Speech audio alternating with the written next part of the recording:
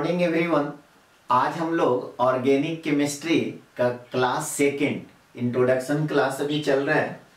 तो जिसमें आज क्या क्या सीखने वाले हैं? तो सबसे पहला मोलिकुलर फार्मूला इसके बाद इंपेरिकल फार्मूला क्या होता है? फिर स्ट्रक्चरल फार्मूला क्या होता है? और बॉन्डलाइन स्ट्रक्चर क्या होता है? तो स्टार्ट करते हैं। सबसे पहला आपका है मोलिकुलर फार्मूला तो मोलिकुलर फार्मूला किसको कहते हैं? तो जैसे आपको कहा जाए ना कि मीथेन नाम तो सब लोग सुने टेंथ क्लास में, कि मीथेन का मोलिकुलर फार्मूला बताइए। तो मोलिकुलर फार्मूला में होता है क्या है कि कोई भी मोलिकुल है तो उसमें टोटल नंबर ऑफ़ एटम्स कितना है? Exact total number of atoms को रिप्रेजेंट करता है। तो डिफिनीशन में क्या हो गया? कि it represents the actual number of combining elements present in the given molecule जैसे आपको हम बोले कि पेंटानॉल का मोलिकुलर फार्मूला बताइए। तो पेंटानॉल का मोलिकुलर फार्मूला बताइए तो उसमें आपको ये पता होना चाहिए कि पेंटानॉल में कितना कार्बन है, कितना हाइड्रोजन है और कितना ऑक्सीजन है।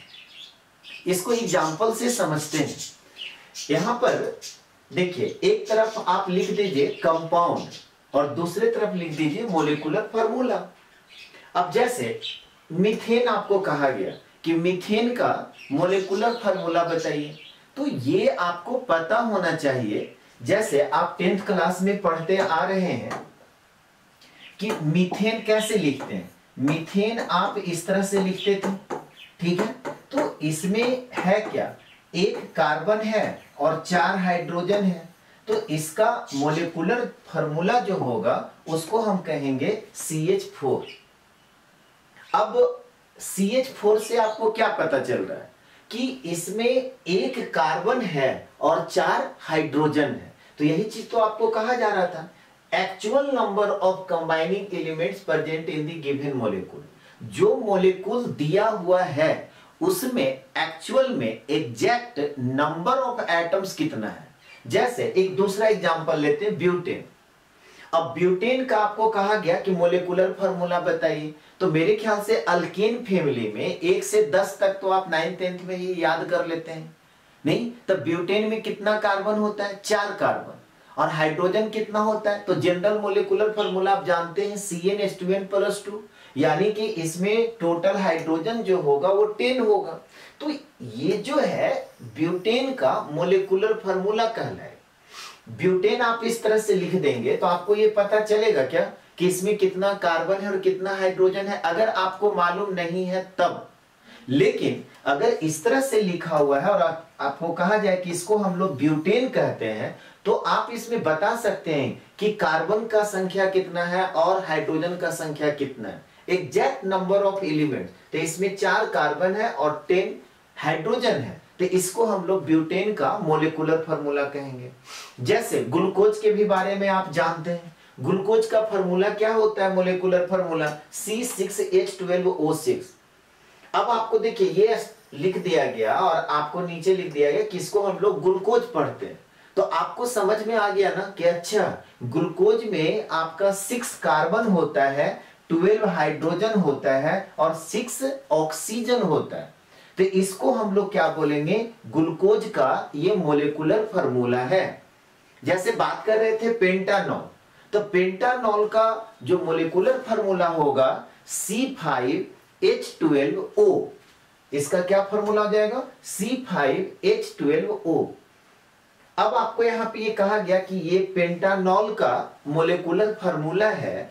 तो इसमें आपको पता चला कि कार्बन कितना है? फाइव हाइड्रोजन कितना है? ट्वेल्व ऑक्सीजन कितना है? वन ठीक है? तो इसको हम लोग क्या बोलेंगे? पेंटानॉल जैसे एसीटोन अब एसीटोन का मोलिकुलर फॉर्मूला होता है C three H six O तो इस तरह से जब लिखा हुआ है तो आप बता सकते हैं कि इसमें टोटल नंबर ऑफ़ कार्बन कितना है? टोटल नंबर ऑफ़ हाइड्रोजन कितना है? और टोटल नंबर ऑफ़ ऑक्सीजन कितना है? यहाँ पे टोटल नंबर ऑफ़ कार्बन कितना हो गया? Three total number of oxygen hydrogen कितना हो गया? Six total number of oxygen कितना हो गया? वन जैसे, एक एग्जांपल लेते हैं पीरीडिन अब पीरिडीन का मोलिकुलर फार्मूला होता है C five H five N तो पीरिडीन में अगर आपसे कोई पूछ दे कि कितना कार्बन कितना हाइड्रोजन कितना नाइट्रोजन होता है तो आप क्या बोलेंगे? अगर आपको मोलिकुलर फार्मूला पता है C five H five N है तो आप कह सकते हैं कि पीरिडीन में total number of carbon five है total number of hydrogen five है और total number of nitrogen one है। इसी में आपका, ये तो आपका हो गया मोलिकुलर फार्मूला मोलिकुलर फार्मूला में अगर किसी भी कंपाउंड का मोलिकुलर फार्मूला दिया हुआ है तो उससे क्या पता चलता? है उससे ये पता चलता है एग्जैक्ट नंबर ऑफ़ एटम्स या कह सकते हैं एग्जैक्ट नंबर ऑफ़ एलिमेंट्स यहाँ तक कंप्लीट कर लीजिए सब लोग।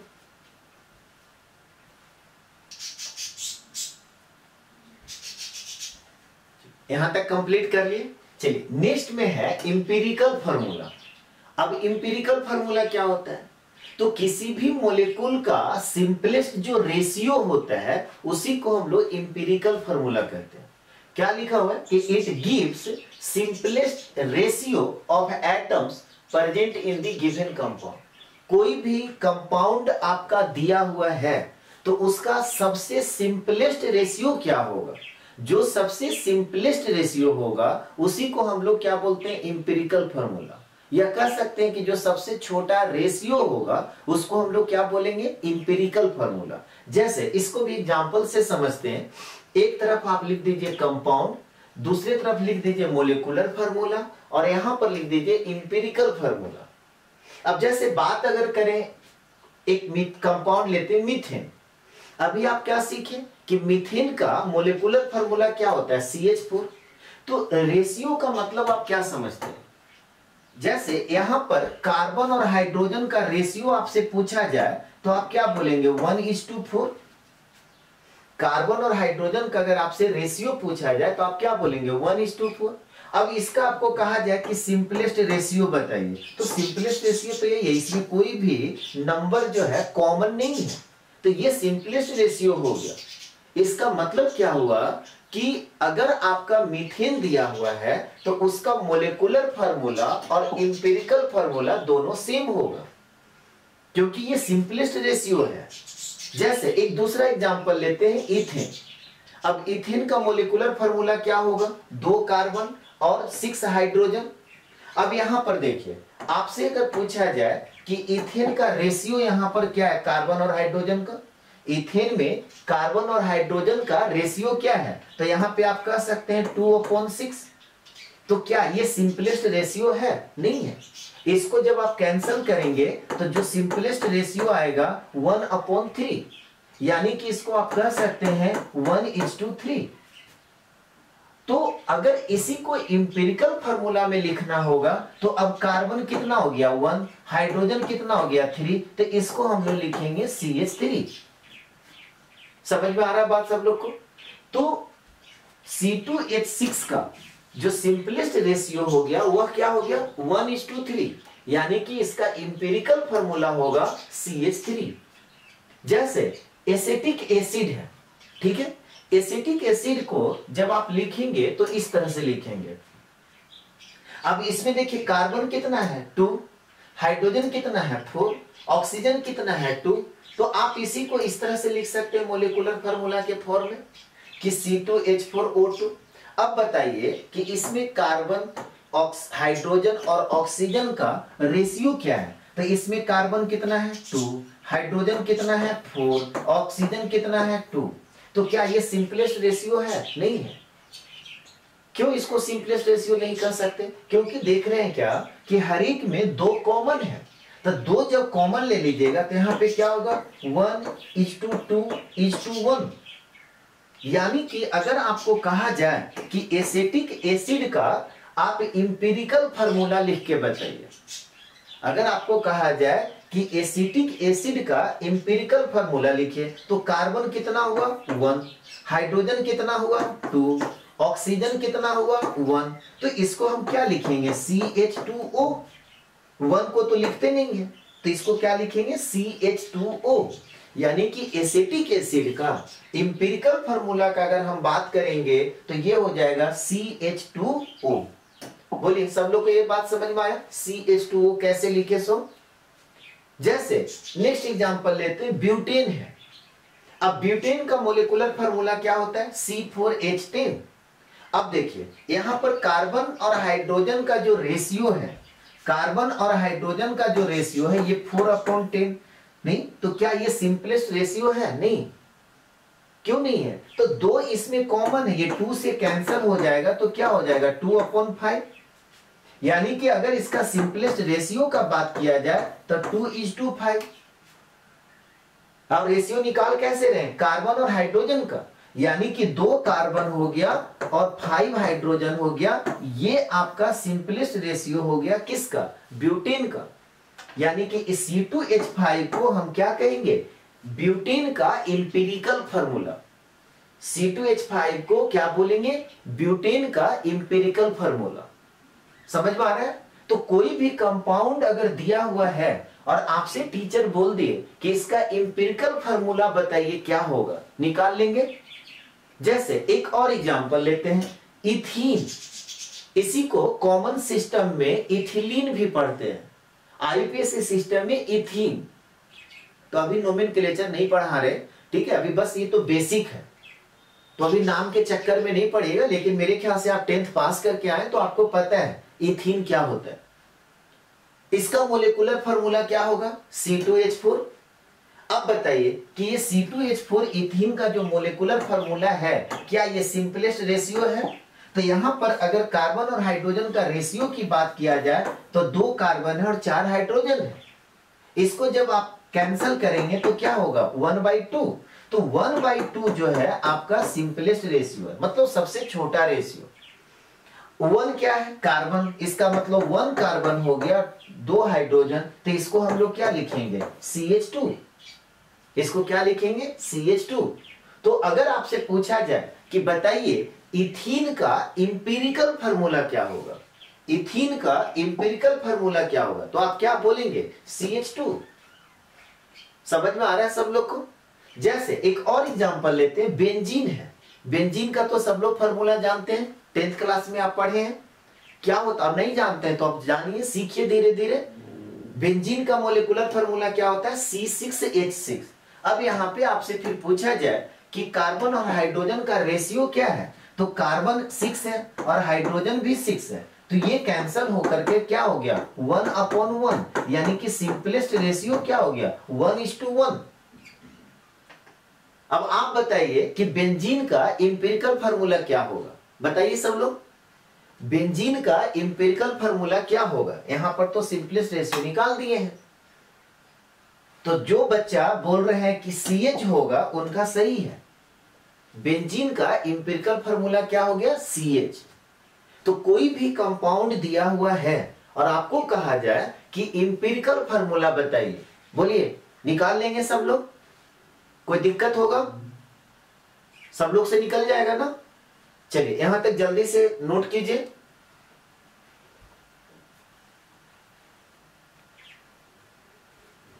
यहाँ तक कंप्लीट कर लिए? चलिए नेक्स्ट में है स्ट्रक्चरल फार्मूला कि कोई भी गिवन कंपाउंड दिया हुआ है तो स्ट्रक्चरल फार्मूला क्या बताता है? तो कॉमन सेंस सोचिए। कि स्ट्रक्चर जब लिखा हुआ है, इसका मतलब यह हुआ कि एटम का कनेक्टिविटी को बताता है। कि कौन सा एटम किस एटम से किस तरह के बॉन्ड से जुड़ा हुआ है? ऐसे भी कोई भी ऑर्गेनिक कंपाउंड इस सब आगे हम लोग और डिटेल में पढ़ेंगे, ठीक है? अभी बस एक सिंपल डिफिनीशन आपको बताया जा रहा है। कोई भी ऑर्गेनिक कंपाउंड का स्ट्रक्चर लिखा हुआ है तो वो स्ट्रक्चर देख कर करके आप ये नहीं बता सकते। जैसे एक एग्जांपल हम लेते हैं, तब ज़्यादा क्लियर होगा। अब यहाँ पर ना आप शुरू से पढ़ते आ रहे हैं, मीथेन। नहीं, इसको आप मीथेन बोलते हैं।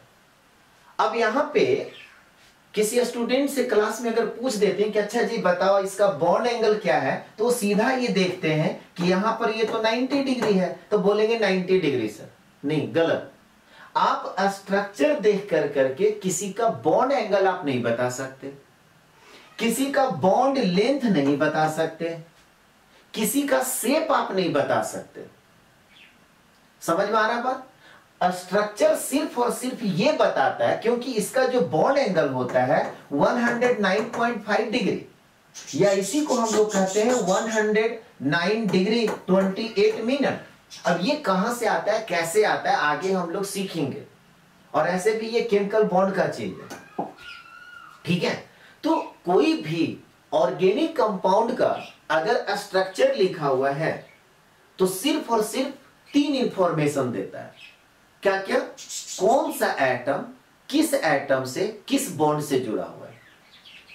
फिर से रिपीट कर रहे स्ट्रक्चरल फार्मूला कोई भी ऑर्गेनिक कंपाउंड का अगर स्ट्रक्चर लिखा हुआ है तो सिर्फ़ और सिर्फ़ वो क्या करेगा?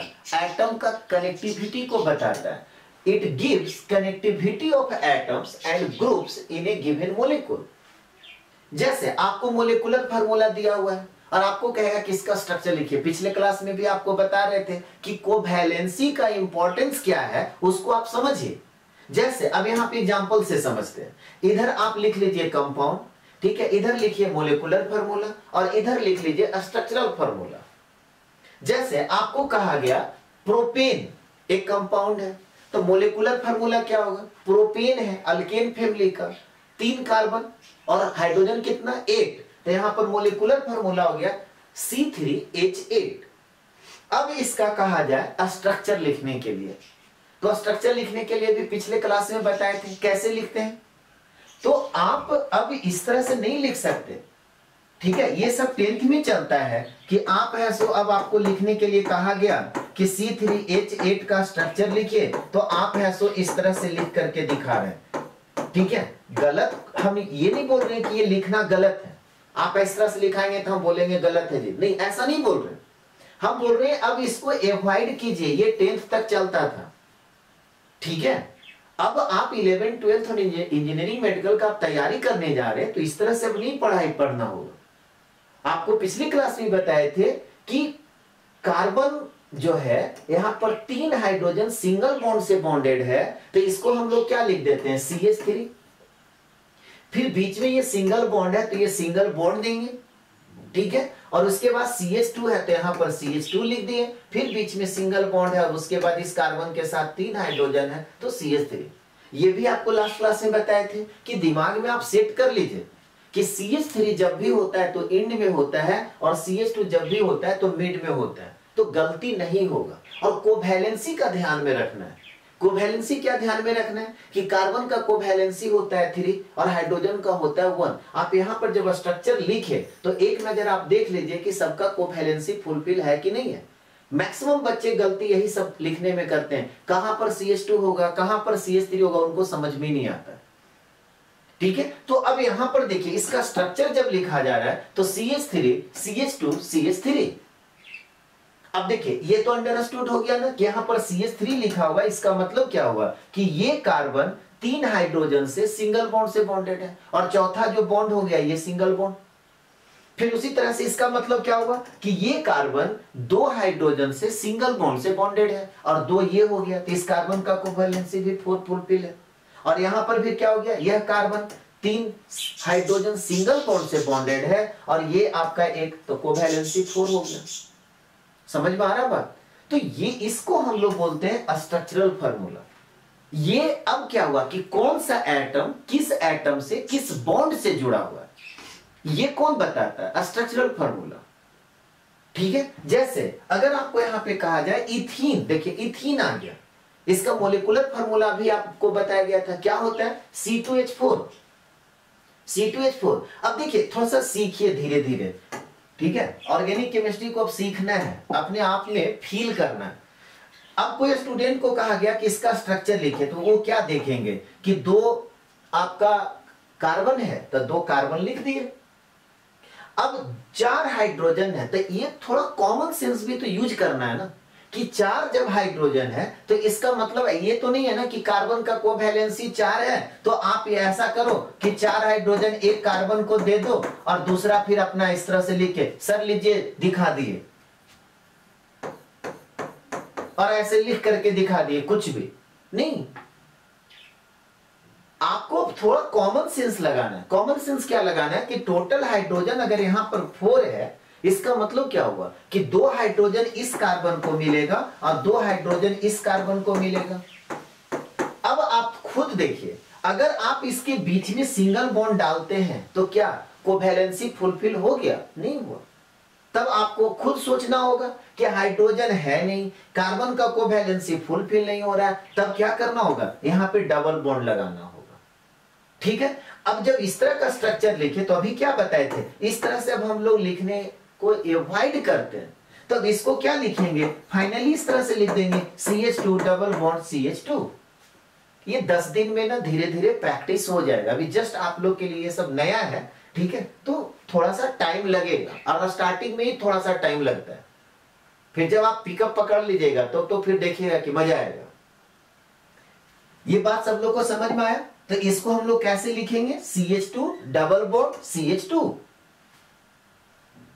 कैसे लिखा है? क्लियर हुआ? जैसे एसिटिलीन एसिटिलीन मेरे ख्याल से नाम सब लोग जानते होंगे। अगर नहीं जानते हैं अल्काइन का जो पहला मेंबर होता है, उसको कॉमन सिस्टम में एसिटिलीन कहते हैं। बहुत सारे स्टूडेंट को यह भी लग रहा हो कि कॉमन सिस्टम क्या होता है। नोमिन नामकरण। समझ में आया बात? तो नोमिन जो है ना, दो तरह से होता है। एक को हम लोग बोलते हैं आईयूपीएससी सिस्टम और एक को बोलते हैं कॉमन सिस्टम कॉमन सिस्टम क्या है और आईपीएससी सिस्टम क्या है, ये सब आगे हम लोग डिटेल में पढ़ेंगे। बस अभी इतना जान लीजिए कि जैसे कोई भी स्टूडेंट है तो उनका घर का नाम कुछ और रहता है और स्कूल का नाम अलग रहता है। नहीं कोचिंग का अलग नाम रहता है। घर में लोग चिंटू मिंटू पिंटू बुला रहे हैं। और जब वही बच्चे जब क्लास में जाते हैं तो किसी का नाम सुरेश है, किसी का मनोज है, किसी का दिनेश है। होता है कि नहीं? तो उसी तरह से कॉमन सिस्टम का जो नोमेन है ना, वो घर का नाम। और आईयूपीएससी सिस्टम का मतलब पूरा दुनिया है, सो उस नाम से जानता है। तो ये सब के बारे में आगे हम लोग डिटेल में सीखेंगे। बस यहाँ पर नाम हम लिखे एसिटिलीन तो अल्काइन फैमिली का जो पहला मेंबर होता है, उसको हम लोग एसिटिलीन कहते हैं। अब इसका फॉर्मूला क्या हो जाएगा? सी टू एच टू अब किसी स्टूडेंट को कहा गया कि आप इसका स्ट्रक्चर लिख करके देखो। ये चीज़ पिछले क्लास में भी आपको बताए थे कि अगर आपको कोवैलेंसी का नॉलेज है तो आप गलत नहीं करेंगे। जैसे, अब यहाँ पर आपको कहा गया स्ट्रक्चर लिखने के लिए तो आप क्या सोचेंगे कि दो कार्बन है तो आप यहाँ पर दो कार्बन लिख दिए। ठीक है? अब यहाँ पर दो हाइड्रोजन है। तो किसी एक ही कार्बन को तो दोनों हाइड्रोजन देंगे नहीं। ये कॉमन सेंस की बात है। तो दोनों कार्बन को आप क्या किए? एक एक हाइड्रोजन सिंगल बॉन्ड से लगा दिए। अब कार्बन का कोवैलेंसी होता है कितना? फोर एक तो फुलफिल हो गया। इसका मतलब थ्री और होना चाहिए। तब ना इस कार्बन का कोवैलेंसी भी फोर होगा और इस कार्बन का भी कोवैलेंसी फोर हो गया। हाइड्रोजन का वन होता है। हाइड्रोजन का वन होता है। पिछले क्लास में आपको बता चुके हैं। तो ये आपका क्या हो गया? एसिटिलीन अब आप इस तरह से लिखिए, कोई दिक्कत नहीं है। इसी स्ट्रक्चर को ऐसे लिख दीजिए, कोई दिक्कत नहीं है। इसी स्ट्रक्चर को आप इस तरह से लिख दीजिए, कोई दिक्कत नहीं है। अब देखिए, ये स्ट्रक्चर और ये स्ट्रक्चर में अंतर क्या है? कोई अंतर नहीं है। अंतर बस इतना है ना कि यहाँ पर होता क्या है? कार्बन कार्बन के साथ बॉन्ड है ना? तो इस तरह से अगर आप लिखते हैं तो ये एग्जैक्ट दिखता है कि कार्बन का कार्बन के साथ बॉन्ड है। और अगर आप इस तरह से लिख देते हैं तो इससे लगता है बहुत सारे जो नए नए बच्चे अभी आप सीख रहे हैं तो उनको कंफ्यूजन हो जाता है। लगता है कि नहीं, ये तो हाइड्रोजन के साथ बॉन्डेड है कार्बन। आप देखिएगा, जब भी हम, अब जैसे यहाँ पर सी एस थ्री है, हम बोर्ड पे लिखेंगे ना तो सी एस थ्री को शुरू में ऐसे लिखते हैं। C S three C S two C S three आप देखिएगा, ध्यान दीजिएगा, जब भी लिखेंगे तो इस तरह से लिखेंगे। इससे क्या पता चला? इससे ये पता चला कि ये कार्बन का बॉन्ड इस कार्बन के साथ सिंगल बॉन्ड से बॉन्डेड है। लेकिन अगर आप इस तरह से लिखते तो लगता है ना कि हाइड्रोजन का तो बॉन्ड कहीं ना कार्बन से हो गया। जबकि ऐसा नहीं अंडरस्टूड है, सब लोग समझते हैं। लेकिन थोड़ा इस तरह से लिखने से ना स्मार्टनेस बढ़ जाता है। लगता है कि हाँ स्टूडेंट जानता है। समझ में आ गया तो आप लोग को भी इसी तरह से प्रैक्टिस करना है, इसी तरह से आदत डालना है। जैसे यहाँ पर देखिए, है ना?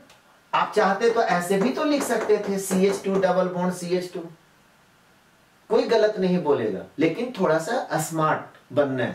समझ में आ रहा है तो कोशिश कीजिए कि शुरू में जब लिखते हैं तो ऐसे ही लिखिए जैसे, अब स्ट्रक्चर आप इस तरह से लिख रहे हो, ठीक है?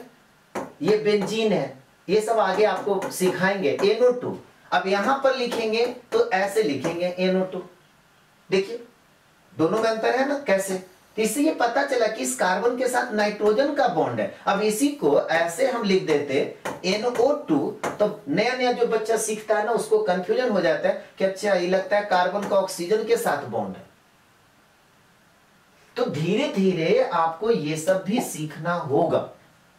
ठीक है? तो अब यहाँ पर देखिए एसिटिलीन का लिखना है तो यहाँ पर हाइड्रोजन और फिर कार्बन कार्बन ट्रिपल बॉन्ड फिर हाइड्रोजन दे दिए। आप इस तरह से लिखो या सिंगल बॉन्ड को हटा के C H triple bond C H लिख दीजिए, कोई दिक्कत नहीं है। बताना यह था कि स्ट्रक्चरल फार्मूला होता क्या है? तो स्ट्रक्चरल फार्मूला सिर्फ़ और सिर्फ़ ये बताता है कि कौन सा एटम किस एटम से, किस बॉन्ड से जुड़ा हुआ है। जैसे एक और एग्जांपल लेते हैं इथानॉल अभी इसका मोलिकुलर फार्मूला बताए थे। मोलिकुलर फार्मूला क्या बताए थे? C2H6O नहीं C2H6O अब इसका स्ट्रक्चर लिखना है। तो इसका स्ट्रक्चर कैसा हो जाएगा? CH3 CH2OH देखिए सारे का कोवैलेंसी भी फुलफिल है। यहाँ पर दो कार्बन तीन दो पाँच, एक छ हाइड्रोजन और एक ऑक्सीजन तो ये आपका क्या हो गया? इथानॉल यहाँ तक नोट कीजिए।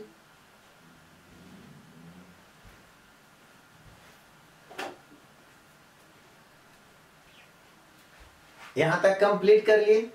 चलिए, एक और एग्जांपल हम लोग देखते हैं। जैसे, अब ये एग्जांपल आपको दे दिया गया। नाम हम नहीं बता रहे। ठीक है, अभी जो आप इसके पहले देखे तो क्या देख रहे थे? सबका नाम लिखा हुआ था। नहीं, इसका मोलिकुलर फॉर्मूला लिखा हुआ था और आपको कहा गया कि स्ट्रक्चर लिखा हुआ है, ठीक है? इसका एक हम मोलिकुलर फॉर्मूला लिख रहे हैं। अब कोई पूछेंगे कि सर, इसका नाम क्या है? तो नाम अभी नहीं बता सकते। अब बोलिए कि क्यों नहीं बता सकते? अभी आपको तुरंत समझ में आएगा। ये एक मोलिकुलर फार्मूला दिया हुआ। अब आपको कहा गया कि इसका स्ट्रक्चर लिख के दिखाइए पूरे क्लासरूम के बच्चे को बोला गया कि आप इसका स्ट्रक्चर लिख के दिखाइए थोड़ा सा इसका इंपॉर्टेंस आप समझिएगा। अब क्या करते हैं? कैसे सिखाए थे? कोवैलेंसी को ध्यान में रखते हुए। कोवैलेंसी को ध्यान में रखते हुए।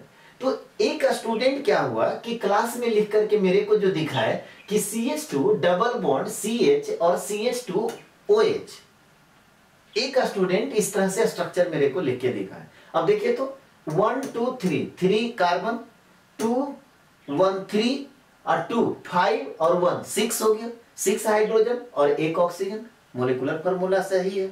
अब हम लोग देखेंगे कोवैलेंसी सही है कि नहीं? तो यहाँ पर देखिए इस कार्बन का कोवैलेंसी टू और टू फोर हो गया। हाइड्रोजन का तो वन वन है। यहाँ पर भी देखिए टू और थ्री और ये हाइड्रोजन फोर हो गया। यहाँ पर देखिए वन टू और टू फोर हो गया। यहाँ पे ऑक्सीजन का कोवैलेंसी क्या बताए थे पिछले क्लास में? टू तो यहाँ पर टू है। नहीं, ये ओ OH का मतलब क्या हुआ? ओ OH का मतलब यहाँ पे ऐसे लिखा हुआ तो ऑक्सीजन का यहाँ पर दो हो गया और हाइड्रोजन का भी वन हो गया। तो कोवैलेंसी भी फुलफिल है। उन्हीं के बगल में एक स्टूडेंट और है, वो मेरे को खड़ा होकर के दिखाते हैं और वो एक स्ट्रक्चर लिखे। वो एक स्ट्रक्चर लिखे कि, sir C S three CO और सी एस थ्री लिख दिए। अब लीजिए। बोले कि, सर, ये वाली देखिए, सही है या गलत है? क्यों? क्योंकि वो तो स्टूडेंट देख रहे हैं कि यहाँ पर one two three three carbon है, तीन तीन, छह हाइड्रोजन है और एक ऑक्सीजन है। सबका कोवैलेंसी भी फुलफिल है। इस कार्बन का देखिए चार, इस कार्बन का दो और दो चार, इस कार्बन का भी आपका चार और इस ऑक्सीजन का भी दो है। तो कोवैलेंसी तो फुलफिल है। हद तो तब हो गया कि दूसरा एक स्टूडेंट और है। बोले कि, सर, हम इस तरह से लिखे हैं। सी सी ओ एच मतलब सी एच ओ और सी एच टू और इधर आपका सी एच थ्री अब देखिए, यहाँ पर भी देखिए, तीन कार्बन है। तीन दो पाँच है और एक छ हाइड्रोजन है और एक ऑक्सीजन है। ठीक है? दूसरा कोवैलेंसी हाइड्रोजन का वन ऑक्सीजन का दो कार्बन का चार, इस कार्बन का भी चार, इस कार्बन का भी चार। समझ में आ रहा है बात? एक उन्हीं के बगल में और नेक्स्ट स्टूडेंट जो है, वो खड़ा होकर के दिखाते हैं, ये स्ट्रक्चर लिख करके कि C H two C H two और यहाँ पर सी एच और इधर कर दिए ओ एच अब देख लीजिए यहाँ पे। तीन कार्बन, दो दो, चार, एक, पाँच, एक छ हाइड्रोजन, एक ऑक्सीजन। को वैलेंसी फुलफिल कर रहा है कि नहीं? तो यहाँ पर भी कार्बन का फोर है, यहाँ पर भी कार्बन का फोर है, यहाँ पर भी फोर समझ में आ रहा है ना?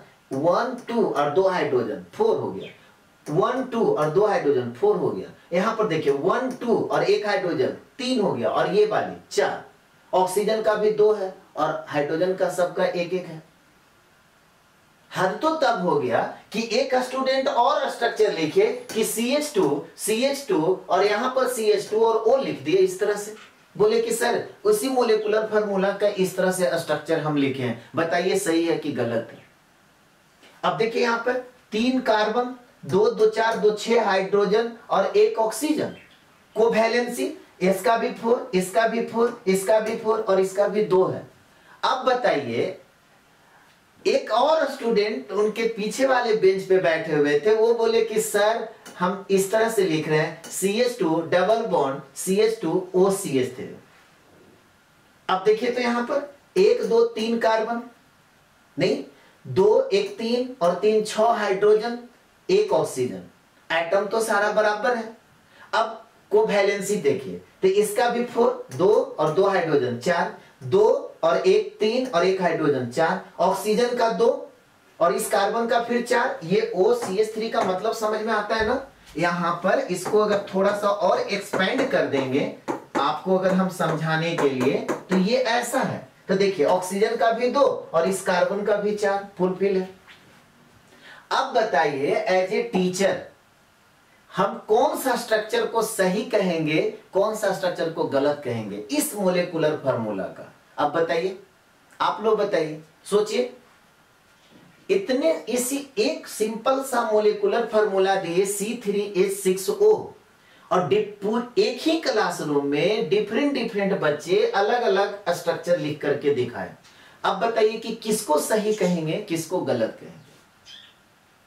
सारा स्ट्रक्चर सही है। हाँ इतना ज़रूर है कि कोई बच्चा अगर एक स्ट्रक्चर लिखा तो हम बोलेंगे गलत है। कोई दो स्ट्रक्चर लिखा तो बोलेंगे गलत है। जो बच्चा सारा स्ट्रक्चर लिखेगा, उसी को हम बोलेंगे सही है। अब समझ में आया कि क्यों हम बोले कि इसका नाम नहीं बता सकते? क्यों? यहाँ पर देखिए, नाम अलग होगा। यहाँ पर नाम अलग होगा। यहाँ पर नाम अलग होगा। यहाँ पर नाम अलग होगा। यहाँ पर नाम अलग होगा और यहाँ पे नाम अलग होगा। क्योंकि हर एक स्ट्रक्चर जो है डिफरेंट डिफरेंट लिखा हुआ है। तो यहाँ पे, देखिए, आगे सब बहुत डिटेल में हम लोग पढ़ेंगे। यहाँ पर सिंपल एक टर्म आया स्ट्रक्चरल कि स्ट्रक्चरल फार्मूला होता क्या है? तो स्ट्रक्चरल फार्मूला में आपको सिर्फ़ क्या बताया गया कि कनेक्टिविटी ऑफ़ एटम्स डिसाइड होता है।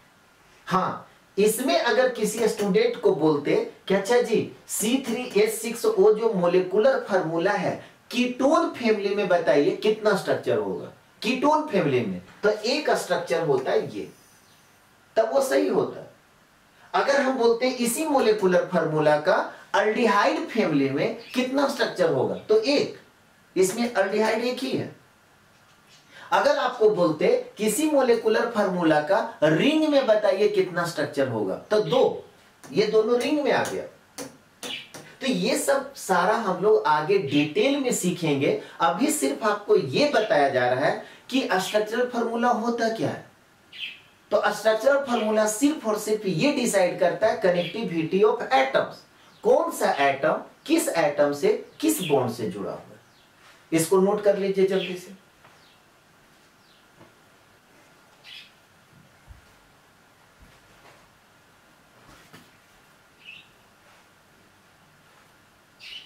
यहाँ तक कंप्लीट कर लिए।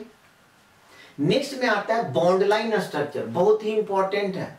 आगे जितना भी रिएक्शंस होगा नोमेन में तो मैक्सिमम ज़्यादा बॉन्ड लाइन स्ट्रक्चर को ही यूज़ किया जाता है।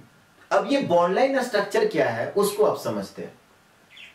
सबसे पहला पॉइंट में क्या कह रहा है कि molecules is written by zigzag lines अब ये जिगजैग लाइंस क्या है कि कोई भी ऑर्गेनिक कंपाउंड है और आपको कहा गया कि इसका बॉन्ड लाइन स्ट्रक्चर लिखिए। तो आप इस तरह से जिगजैग लाइंस में लिख सकते हैं। जिगजैग लाइंस क्या हुआ, ये समझ में दूसरा पॉइंट में क्या कह रहा है? दूसरा पॉइंट में कह रहा है कि it represents only carbon skeleton bond line structure क्या करता है? सिर्फ़ और सिर्फ़ कार्बन के स्केल्टन को बताता है। स्केल्टन समझते हैं? खाका या ढांचा। तो ये क्या करता है? बॉन्डलाइन स्ट्रक्चर सिर्फ़ और सिर्फ़ कार्बन के स्केल्टन को रिप्रेजेंट करता है। थर्ड में क्या कह रहा है? कि hydrogen atoms necessary to fulfill tetravalency of carbon are assumed to be present, but they are not written जैसे अभी क्या बता रहे थे कि कार्बन का कोवैलेंसी फोर फुलफिल हो रहा है कि नहीं हो रहा है? जहाँ पे नहीं होता है, वहाँ पर हम लोग क्या करते हैं? हाइड्रोजन लगा देते हैं। बट बॉन्डलाइन स्ट्रक्चर में हाइड्रोजन को नहीं लिखना है। ये मान के चलना है कि वो हाइड्रोजन वहाँ पर है। कार्बन टेट्रा वैलेंसी फुलफिल कर रहा है तो ये मान लेना है कि उस कार्बन का टेट्रा वैलेंसी को फुलफिल करने के लिए जितना हाइड्रोजन का ज़रूरत है, उतना है। ये मान लेना नेक्स्ट पॉइंट में क्या कहता है? कि ईच इंटरसेक्शन ऑफ़ टू और more lines and the end of a line represent carbon unless some other atoms is written ये बहुत ही इंपॉर्टेंट पॉइंट है। आपको क्या कहा जा रहा है कि दो लाइन का इंटरसेक्टिंग पॉइंट अभी आपको क्या पता है? बॉन्ड लाइन स्ट्रक्चर हम लोग कैसे लिखते हैं? जिगजैग लाइंस में। तो कहता है कि एक लाइन देखिए, ये हुआ, नहीं? और एक लाइन ये हुआ। तो ये दोनों का इंटरसेक्टिंग जो पॉइंट है वो कार्बन को रिप्रेजेंट करेगा। और इंड पॉइंट, ये भी है, सो कार्बन को रिप्रेजेंट करेगा। समझ में आ रहा बात? अगर किसी स्टूडेंट से पूछे, अगर ऐसे बोर्ड पे लिख दिया जाए और आपसे पूछा जाए कि इसका नाम बताइए तो आप कैसे सोचेंगे? यहाँ पर देखिए, एक कार्बन, दो कार्बन, तीन कार्बन और ये चार कार्बन। तो इसका नाम जो है, चार कार्बन से क्या होता है? ब्यूटेन। तो इसका नाम हम लोग लिखेंगे नॉर्मल ब्यूटेन। अभी इस पर मत जाइए कि सर ये नॉर्मल कहाँ से आ गया। आगे सब डिटेल में हम लोग पढ़ेंगे। तो इसका नाम क्या हो जाएगा? Normal butane. अब देखिए, अगर आपसे पूछेंगे कि मिस्टर एक्स आप खड़ा हो जाओ जी और बताओ कि यहाँ पर कितना हाइड्रोजन है तो आप क्या बोलेंगे? थ्री। क्यों थ्री बोले? क्योंकि कार्बन टेट्रा वैलेंसी फुलफिल करने के लिए, कार्बन का कोवैलेंसी फोर होता है, फुलफिल करने के लिए, इसका मतलब क्या हुआ कि यहाँ पर तीन हाइड्रोजन है। नहीं? किसी दूसरे स्टूडेंट को खड़ा करके पूछे अच्छा जी, बताइए, यहाँ पर कितने हाइड्रोजन है? तो क्या बोलेंगे? दो, सर। क्यों? क्योंकि दो तो आपका पहले से बॉन्ड बना हुआ। तो टेट्रा वैलेंसी शो करने के लिए, फोर फुलफिल करने के लिए, ये क्या होगा? दो कार्बन, जो हाइड्रोजन होगा, जो कि हम लोग नहीं लिखते तो यही चीज़ कह रहा है कि each intersection of two और मोर लाइन दो या दो से ज़्यादा लाइन एक दूसरे को अगर इंटरसेक्शन करता है, कहता and end of a line represent carbon intersecting point भी और इंड पॉइंट भी दोनों क्या रिप्रेजेंट करेगा? कार्बन को। Unless some other atom is written लेकिन अगर कार्बन के अलावे, अगर कार्बन के अलावे कोई दूसरा एटम है, तब आपको लिखना पड़ेगा। कार्बन के अलावे अगर कोई दूसरा एटम है, तब आपको लिखना पड़ेगा। नेक्स्ट पॉइंट में देखिए। फिफ्थ में क्या कह रहा है? फिफ्थ में कह रहा है कि other atoms like nitrogen oxygen sulphur halogen etcetera written अभी क्या बताए कि कार्बन के अलावे कोई अगर दूसरा एटम है तो वहाँ पर लिखना पड़ेगा। कल भी आपको बताए थे कि ऑर्गेनिक केमिस्ट्री में कार्बन के अलावे भी हम लोग कौन कौन सा एटम के बारे में पढ़ते हैं? तो वो होता है नाइट्रोजन ऑक्सीजन सल्फ़र हेलोजन ये सब भी एटम के बारे में पढ़ते हैं। तो बॉन्डलाइन स्ट्रक्चर में क्या कह रहा है? कि कार्बन के अलावे अगर कोई दूसरा एटम है तो वहाँ पर आपको लिखना पड़ेगा। नेक्स्ट पॉइंट में क्या कह रहा है? नेक्स्ट पॉइंट में कह रहा है कि multiple bonds are also written multiple bond भी आपको लिखना पड़ेगा। मल्टीपल बॉन्ड किसको कहते हैं? डबल बॉन्ड और ट्रिपल बॉन्ड डबल बॉन्ड और ट्रिपल बॉन्ड जैसे कार्बन कार्बन के बीच में अगर डबल बॉन्ड है, ठीक है? कार्बन कार्बन के बीच में अगर ट्रिपल बॉन्ड है तो इसको हम लोग बोलते हैं मल्टीपल बॉन्ड सबको समझ में आ गया? कार्बन कार्बन के बीच में अगर डबल बॉन्ड है या ट्रिपल बॉन्ड है तो उसको आपको क्या करना पड़ेगा? लिखना पड़ेगा। क्योंकि आप नहीं लिखेंगे तो आपको पता ही नहीं चलेगा कि कहाँ पर डबल बॉन्ड है, कहाँ पर ट्रिपल बॉन्ड है। बात सबको समझ में आ गई? अब इसको मज़ा तब आएगा ना, कुछ प्रैक्टिस हम लोग करते हैं, नहीं? कुछ एग्जाम्पल्स हम लोग देखते हैं। इसको एग्ज़ाम्पल से समझते हैं, तब ज़्यादा मज़ा आएगा। जैसे एग्ज़ाम्पल में देखें। आपको यही एक स्ट्रक्चर दे दिया गया और कहा जाए कि इसका बॉन्ड लाइन स्ट्रक्चर लिखिए। क्या लिखना है? बॉन्ड लाइन स्ट्रक्चर तो बॉन्ड लाइन स्ट्रक्चर हम लोग कैसे लिखेंगे? तो यहाँ पर देखिए कि टोटल नंबर ऑफ़ कार्बन आप काउंटिंग कीजिए। तो देखिए one two three one two three one two three कहीं से भी आप जाते हैं तो मैक्सिमम जो कार्बन का चेन है, वो कितने कार्बन का चेन है? थ्री कार्बन का। अब थ्री कार्बन को जो बॉन्डलाइन स्ट्रक्चर में लिखेंगे तो आपको क्या बताए थे? जिगजैग लाइन से, नहीं? तो एक लाइन खींच दिए, इसका मतलब ये दो कार्बन हो गया। तीसरा कार्बन ये हो गया, नहीं? एक कार्बन यहाँ पर आ गया, एक कार्बन आपका ये हो गया, और एक कार्बन ये हो गया हो गया। अब क्या देख रहे हैं? दूसरा कार्बन पे एक मिथाइल ग्रुप है सी एस थ्री है तो यहाँ पर क्या करेंगे? ऊपर में लिखेंगे ऐसे समझ में आया बात? देखिए, यहाँ पर भी ये कार्बन है। और क्या बताया था हाइड्रोजन को नहीं लिखते? तो हाइड्रोजन को नहीं लिखते, इसका मतलब क्या? यहाँ पे समझना क्या है? यहाँ पर यह समझना है कि इस कार्बन के साथ तीन हाइड्रोजन है। यहाँ पर भी तीन हाइड्रोजन है, यहाँ पर भी तीन हाइड्रोजन बट यहाँ पर कितना हाइड्रोजन है? एक हाइड्रोजन है। क्यों? क्योंकि तीन तो आपका कोवैलेंसी पहले से फुल फिल है। एक और इंपॉर्टेंट बात यहीं पे आप समझ लीजिए। कोई स्टूडेंट बोलेंगे कि सर ये जो मिथाइल है, इसको नीचे नहीं लिख सकते हैं, नहीं लिख सकते हैं। ऐसा रूल है, ऐसा कन्वेंशन है। क्यों? क्योंकि देखिए, यहाँ पर भी आपका तीन हाइड्रोजन है। नहीं, इसके पास भी तीन हाइड्रोजन होगा, और यहाँ पर भी तीन हाइड्रोजन होगा। तब क्या होगा? ये सब एक दूसरे के काफ़ी नज़दीक आ गए। तो जब काफ़ी नज़दीक आ गए तो वहाँ पर क्या होगा? रिपल्सन होगा। और रिपल्सन जब होगा तो क्या होगा? मोलिकुल की स्टेबिलिटी घट जाती है। उसको केमिस्ट्री के भाषा में हम लोग टर्म यूज़ करते हैं अस्टेरिक रिपल्सन तो ये सब आगे आप सीखिएगा। अभी सिर्फ़ इतना जानिए कि नीचे क्यों नहीं लिखे? क्योंकि यहाँ पर सब हाइड्रोजन हाइड्रोजन में क्या होगा? रिपल्सन होने लगेगा। और रिपल्सन होने से क्या होता है? मोलिकुल की स्टेबिलिटी घट जाती है। समझ में आया कैसे लिखे सो? तो यहाँ पर आपका देखिए, ये और फिर इसको ऐसे कर दिए। और यहाँ पर एक हाइड्रोजन मिथाइल ऊपर है तो ये कर दिए, हो गया। हाँ इसी में कोई स्टूडेंट बोलता है कि, सर, जो आप ऐसे लिखे हो, इस तरह से नहीं लिख सकते, ऊपर से ये स्टार्ट करते हैं ऐसे, और उसके बाद इसको ऐसे कर दिए, और मिथाइल ग्रुप को नीचे लिख सकते हैं। क्या ऐसे नहीं लिख सकते? लिख सकते हैं। हाँ अगर आप ऐसे लिखते हो तो इधर आपको नहीं देना है मिथाइल को। अगर आप ऐसे लिखते हो तो नीचे आपको मिथाइल को नहीं देना। समझ में आ रहा बात? यहाँ तक नोट कीजिए, और एग्ज़ाम्पल हम लोग करते हैं।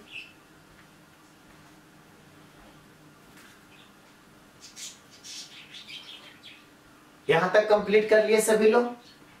चलिए नेक्स्ट एग्जांपल देखिए। आपको बोला गया ना कि इसका आप बॉन्ड लाइन स्ट्रक्चर लिखो। ठीक है? आप बॉन्ड लाइन स्ट्रक्चर लिखिए, खुद से लिखिए सभी लोग। कैसे लिखेंगे? तो सबसे पहले कार्बन को काउंटिंग कीजिए। One two three four five इधर से आते हैं तो one two three four five इधर से आते हैं one two three four five कहीं से भी जाते हैं तो कितने कार्बन का चेन है? पाँच कार्बन का। तो देखिए, कैसे स्टार्ट करेंगे? दो, वन वन टू समझ में आ एक लाइन खींचते हैं तो आ गया, वन और टू उसके बाद थ्री फोर फाइव हो गया? समझ में आ रहा अब देखिए वन टू थ्री तीसरा कार्बन के साथ एक इथाइल ग्रुप लगा हुआ तीसरा कार्बन के साथ क्या है? इथाइल ग्रुप है। तो देखिए तो पहला, दूसरा, तीसरा। अब इसके साथ एक सी एच टू और एक सी एच थ्री कोई स्टूडेंट बोलेगा कि सर इस तरह से नहीं लिख सकते हैं। अरे भाई, लिख सकते हो। अब इसको आप इधर घुमा दीजिए, इसको आप इधर घुमा दीजिए, उससे कोई फ़र्क नहीं पड़ता।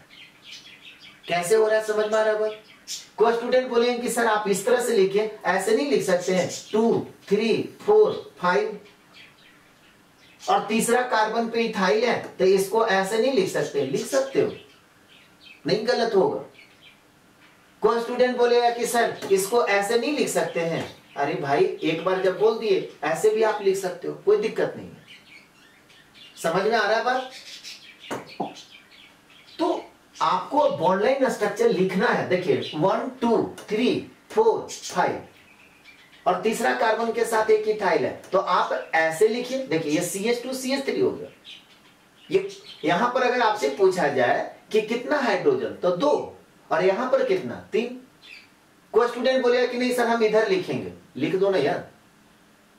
उससे कोई फ़र्क नहीं पड़ता। आप ऐसे लिखिए, आप ऐसे लिखिए, उससे कोई फ़र्क नहीं पड़ता। समझ में आ गया जैसे एक और एग्जांपल लेते हैं।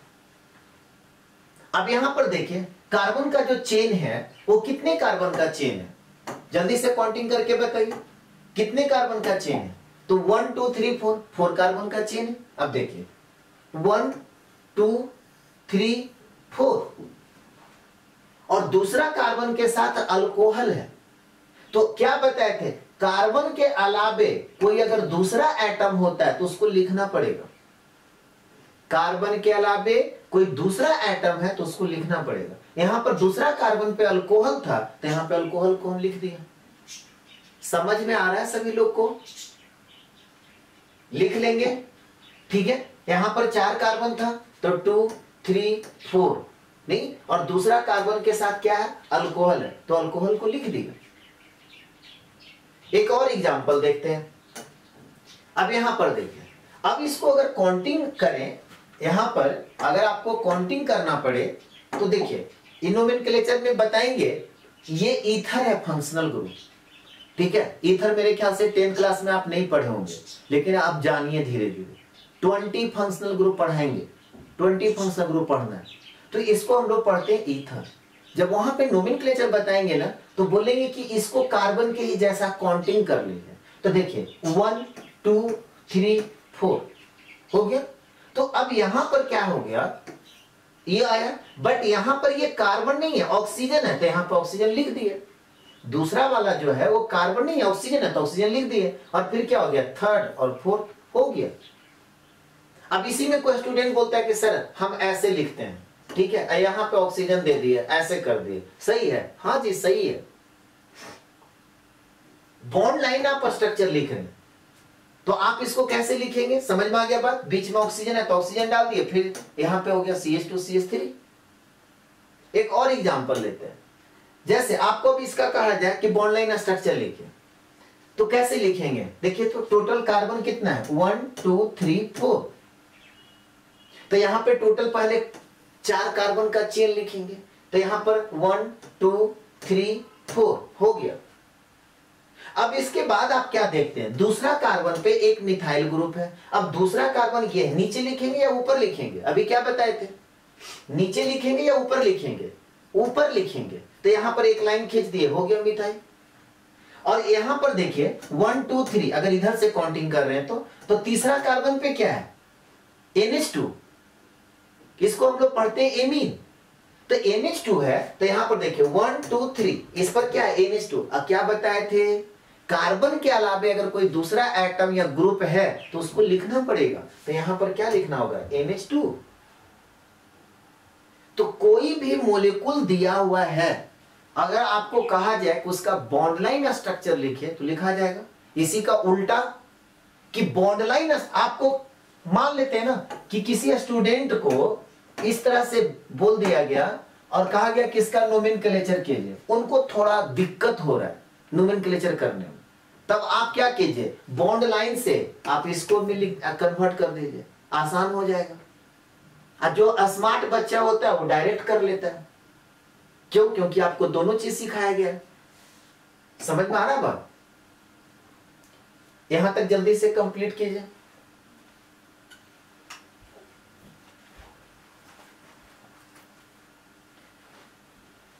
यहाँ तक हो गया सभी लोगों का। चलिए नेक्स्ट एग्जांपल में देखते हैं। अब यही आपका स्ट्रक्चर है। आपको कहा गया कि बॉन्ड लाइन स्ट्रक्चर लिखिए। तो लॉन्गेस्ट कार्बन का चेन देखिए। तो one two three one two three one two three कहीं से भी जा रहे हैं तो थ्री कार्बन ही है। तो थ्री कार्बन कैसे लिखेंगे? जिग जैग लाइन्स में। तो यहाँ पर वन टू और ये थ्री हो गया। अब यहाँ पे सबसे इंपॉर्टेंट बात क्या है कि जब आप इस तरह का स्ट्रक्चर लिखते हैं तो यहाँ पर एक मिथाइल नीचे देते और एक मिथाइल ऊपर देते तो यहाँ पर अब आपको क्या करना है? यह सवाल है। तो देखिए, अब यहाँ पे अगर कोई स्टूडेंट ऐसे एक दो, दोनों मिथाइल को ऊपर दे दिया, तब भी सही है। और ये हम तो कहेंगे कि ये ज़्यादा सही है। लेकिन दो मिनट के लिए कि अगर कोई स्टूडेंट ऐसे लिख देते हैं, एक ऊपर कर दिए और एक नीचे कर दिए गलत नहीं होगा। लेकिन फिर बात वही पे आ जाता है कि नीचे लिखने में ना, यहाँ पर भी मिथाइल है, यहाँ पर भी मिथाइल है, और यहाँ पर भी मिथाइल है तो क्या होगा? रिपल्सन होगा। तो मोलिकुल की स्टेबिलिटी घट जाती है। इसके चलते कन्वेंशन एक बना दिया गया कि नहीं। ठीक है, आप स्ट्रक्चर लिखते हैं तो एक ऊपर लिख देते हैं, एक नीचे लिख देते हैं। लेकिन बॉन्डलाइन स्ट्रक्चर में क्या होता है? जिगजैग लाइंस में होता है। तो जिगजैग लाइंस में होता है तो यहाँ पर क्या हो गया कि अगर एक ही कार्बन के साथ दो दो मिथाइल है तो दोनों मिथाइल को आप ऊपर ही लिखिए। ये ज़्यादा सही है। जैसे एक नेक्स्ट एग्जांपल में देखिए, अब इसका आपको लिखना है। सबसे पहला बार कि जहाँ पर नहीं समझ में आए ना, उसको तोड़ करके लिखे आप टेंथ क्लास में कार्बोक्सिलिक एसिड पढ़े हैं। तो टेंथ क्लास में जब कार्बोक्सिलिक एसिड पढ़े तो ये स्ट्रक्चर जो होता है, ऐसा होता है। सीओओएच नहीं? ये स्ट्रक्चर समझ में आ रहा है आप ये टेंथ क्लास में पढ़े हैं, ये कार्बोक्सिलिक एसिड को आप इस तरह से लिख सकते हैं। अब देखिए टोटल कार्बन काउंटिंग करते हैं। वन टू थ्री फोर तो जब इसको अगर बॉन्डलाइन स्ट्रक्चर में लिखना होगा तो सबसे पहला काम क्या करना होगा? चार कार्बन को लिखना होगा। चार कार्बन लिख दिए। देखिए वन टू थ्री फोर दूसरा कार्बन के साथ एक अल्कोहल है तो दूसरा कार्बन के साथ एक अल्कोहल दे दिए। तीसरा कार्बन के साथ अल्कोहल है तो तीसरा कार्बन के साथ अल्कोहल दे दिए। और इस कार्बन के साथ क्या है? सीओ ग्रुप है। क्या बताए थे? कार्बन के अलावे अगर कोई दूसरा एटम है तो उसको लिखना है। दूसरा बात क्या बताए थे? मल्टीपल बॉन्ड को लिखना है। क्या करेंगे? आपको लिखना है तो आप ऐसे लिख सकते हैं। ठीक है? ये कार्बन के साथ देखिए डबल बॉन्ड हो गया और ये ओ OH हो गया। समझ में आ रहा है बात? यहाँ पर ये क्या हो गया? डबल बॉन्ड हो और ओ OH हो गया।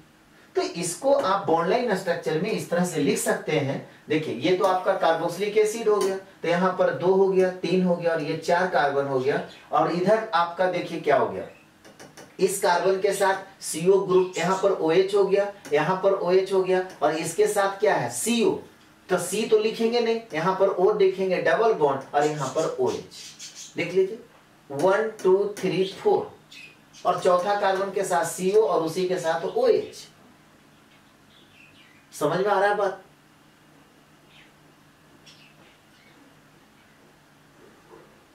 एक और एग्जांपल देखते हैं।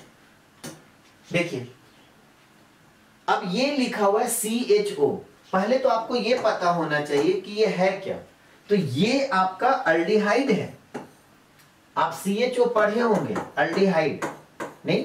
और अल्डिहाइड क्या होता है? ध्यान दीजिए। ये ये स्ट्रक्चर अल्डिहाइड का। इसके बाद क्या है? देखिए C H two O H four times है। C H two O H क्या है?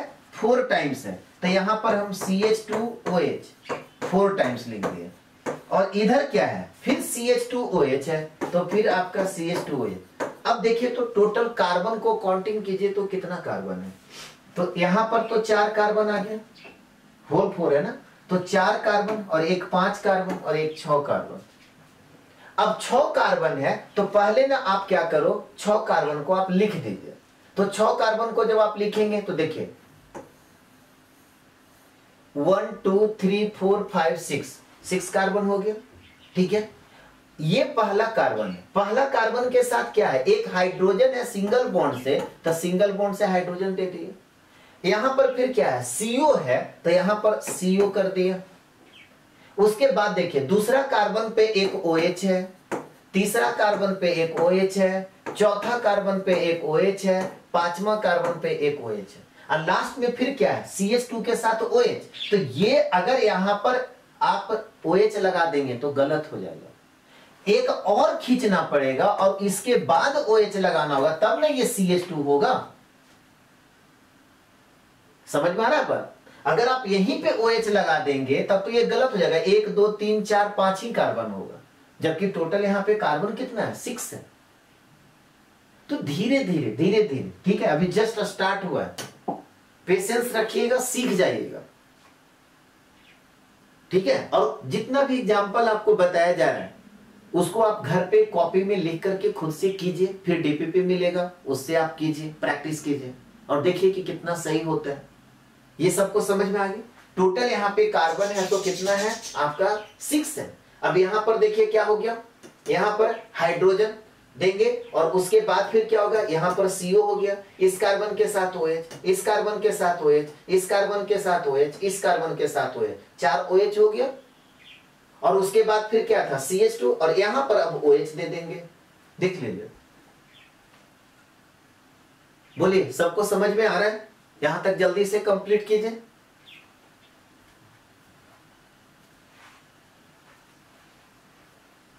हो गया यहाँ तक कंप्लीट सब लोग काम चलिए, एक और एग्जांपल देखते हैं। नेक्स्ट एग्जांपल अब इसको आपको कहा गया बॉन्ड लाइन स्ट्रक्चर लिखिए। तो हम क्या अभी बताए थे? कुछ देर के लिए इसको कार्बन के रूप में काउंटिंग कीजिए। तो one two three four five है। तो यहाँ पर देखिए टू हो गया। तो टू और तीसरा के जगह पे क्या है? ऑक्सीजन है। तो यहाँ पर एक लाइन खींचेंगे और ऑक्सीजन डाल देंगे। और उसके बाद फिर कार्बन है। तो यहाँ से फिर ऐसे लिख दिए कार्बन हो गया। और फिर कार्बन है। तो एक ऐसे लिख दिए कार्बन हो गया। दूसरा कार्बन के साथ सीओ है तो यहाँ पर सीओ डबल बॉन्ड ओ दे दिए। यहाँ पर सीओ है तो यहाँ पर फिर डबल बॉन्ड ओ दे दिए। हो गया। अब इसमें कुछ नहीं करना। नेक्स्ट एग्जांपल देखिए। आपको यहाँ पे कहा गया C H two whole five अब देखिए कॉमन सेंस यूज़ कीजिए। अब कोई स्टूडेंट को यहाँ पे कहा गया कि C H two whole five है, इसका बॉन्ड लाइन स्ट्रक्चर लिखिए। अब उनके दिमाग में क्या चला गया कि अच्छा पाँच कार्बन है तो एक, दो, तीन, चार, पाँच। एक, दो, तीन, एक, दो, तीन, चार, पाँच। अब बोलेंगे, दिखाएँगे। क्या ये सही है? गलत है। आपने किसका लिख दिया? ये तो आपका one two three four five है। ये पेंटेन का स्ट्रक्चर लिख दिया। अब इसके बारे में आपको कहाँ से इंफॉर्मेशन मिलेगा? पहला क्लास पहला क्लास मतलब पिछले क्लास में क्या बताए थे? सी एच टू कहाँ होता है? मिड में होता है। कहीं सी एच थ्री तो पता ही नहीं है। तो थोड़ा सा कॉमन सेंस यूज़ करना है। कॉमन सेंस क्या यूज़ करना है? कि अगर आप किसी का रिंग बनाते हैं, ऐसे बॉन्डलाइन स्ट्रक्चर तो ये क्या है? ये सी एच टू है। ये क्या है? सी एच टू है। ये क्या है? सी एच टू है। ये क्या है? सी एच टू है। समझ में आ रहा है इसका मतलब क्या हुआ कि यहाँ पे फाइव कार्बन और सी एच टू होल्ड मतलब सी एच टू का होल फाइव दिया हुआ है तो पाँच मेंबर का रिंग बनेगा। क्या बनेगा? पाँच मेंबर का रिंग बनेगा। ये हो गया। बॉन्ड लाइन स्ट्रक्चर किसका? अगर इसका नाम पूछा जाए नोमेनक्लेचर अभी नहीं बता रहे जानिए धीरे धीरे सुनते सुनते आपको याद हो जाएगा। इसका नाम क्या होगा? रिंग है तो इसको बोलेंगे साइक्लो और कितना कार्बन पाँच कार्बन तो बोलेंगे पेंटेन यानी कि साइक्लोपेंटेन का ये बॉन्ड लाइन स्ट्रक्चर है। हर एक इंटरसेप्टिंग पॉइंट क्या रिप्रेजेंट कर रहा है? कार्बन को। और कार्बन का को वैलेंसी फोर होता है। तो आपसे पूछा जाए कि अच्छा जी बताइए, हर एक कार्बन पे कितना हाइड्रोजन है? तो आप क्या बोलेंगे? दो हाइड्रोजन जैसे एक और एग्जांपल लेते हैं। अब ये आपको एग्जांपल हैं। और कहा गया कि आप इसका बॉन्ड लाइन स्ट्रक्चर लिख के दिखाइए। कैसे लिख के दिखाएँगे? देखिए। One two three four five six ठीक है? तो टोटल पहले सिक्स नाइट्रोजन को भी काउंटिंग किया। ध्यान रखिएगा। और कहाँ पर है? चौथा के जगह पे तो देखिए, ये वन टू हो गया थ्री हो गया फोर हो यहाँ पर देखिए वन टू थ्री अब चौथा में क्या है? नाइट्रोजन तो नाइट्रोजन लिख दिए अब इसके बाद फिर C H two C S three है। तो अब ये ऊपर जाएगा तो ये सी एस टू हो गया और फिर नीचे कर दिया तो सी एस थ्री हो गया। ये एक कार्बन, ये एक कार्बन, ये एक कार्बन, ये एक कार्बन और ये एक कार्बन। अब एक और इंपॉर्टेंट नाइट्रोजन के साथ एक कार्बन लगा हुआ है। तो नाइट्रोजन के साथ एक कार्बन लगा दिया। और इस कार्बन के साथ दो मिथाइल है तो एक इधर कर देंगे और एक इधर कर देंगे। इसी कार्बन के साथ क्या हो गया? दो मिथाइल लगा हुआ है, एक और दो। तो इसको एक इधर लिख देंगे और एक इधर लिख देंगे। तो ये बॉन्डलाइन स्ट्रक्चर हो गया इस कंपाउंड का। तो देखिए, जो बच्चे को सीखना है, वो क्या करेंगे? जितना भी सारा एग्ज़ाम्पल बताए हैं पहले आप कॉपी में नोट कीजिए, फिर रफ कॉपी उठाइए और एक साथ सारे को आप लिख लीजिए। कॉपी बंद कर दीजिए और उसके बाद खुद से बॉन्ड स्ट्रक्चर लिखिए और मिलाइए कि आप सही लिखे कि नहीं लिखे।